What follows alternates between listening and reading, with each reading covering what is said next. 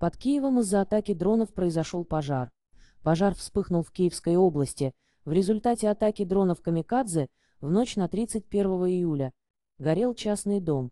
Об этом сообщает «Новости Украина» со ссылкой на пресс-службу ГСЧС в Киевской области. Пожар произошел в результате падения обломков вражеского беспилотника в Броварском районе неподалеку от Киева.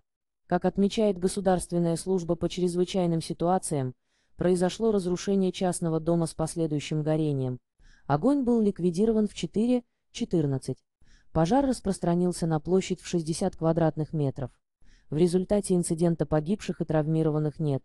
Пожар ликвидировали 8 спасателей и 2 единицы спецтехники. Атака дронов 31 июля. Этой ночью российские оккупанты атаковали Украину дронами «Камикадзе», под ударом в частности была столица. Киевская городская военная администрация назвала атаку самой массированной с начала года.